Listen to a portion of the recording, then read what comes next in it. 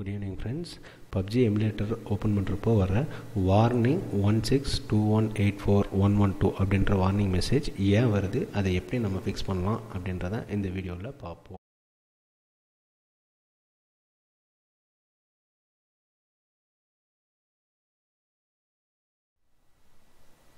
Okay இதுதான் warning one six two one eight four one one two இந்த message ஏன் வருது அப்படின்னா நம்ம விண்டோஸ் வந்து டெஸ்ட் மோடில் இருந்ததுன்னா இந்த மாதிரி வார்னிங் மெசேஜ் வரும். இந்த டெஸ்ட் மோடை எப்படி டிசேபிள் பண்ணணும் அப்படின்றத நான் உங்களுக்கு சொல்கிறேன் இதுக்கு ஃபஸ்ட்டு வந்து ரன்னில் போயிட்டு சிஎம்டி அப்படின்னு டைப் பண்ணி அதை ரன் அஸ் அட்மினிஸ்ட்ரேட்டரில் ஓப்பன் பண்ணுங்கள் வந்ததுக்கப்புறம் BCD edit space slash set space test signing space off அப்படின்னு கொடுத்துட்டு என்ட்ரு கொடுங்க.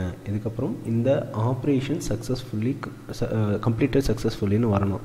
வந்துருச்சுன்னா உங்கள் சிஎம்டியை க்ளோஸ் பண்ணிவிடுங்க இப்போது உங்கள் பிசியை ரீஸ்டார்ட் பண்ணுங்கள்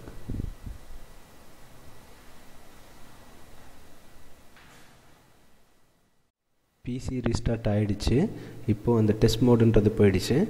இப்போது நம்ம அப்ளிகேஷனை ரன் பண்ணி பார்ப்போம். இப்போ அந்த வார்னிங் மெசேஜ் வரக்கூடாது.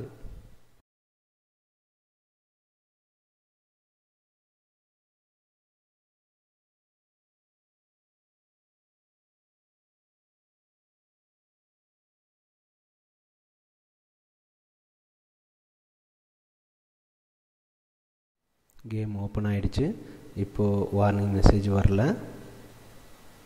Thank you friends